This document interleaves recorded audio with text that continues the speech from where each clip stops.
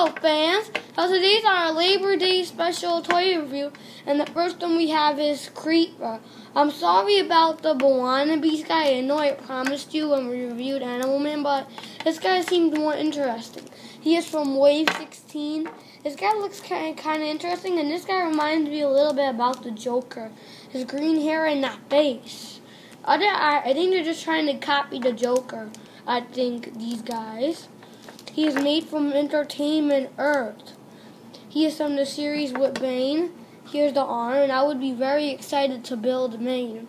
He looks like a cool character and a well-known character, a big enemy with Batman. But, but this guy has some red boots and black details around the boots that looks. There's this guy 73 degrees of him.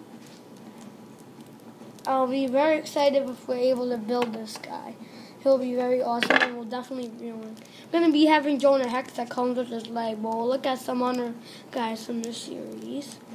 He has some gr green pants.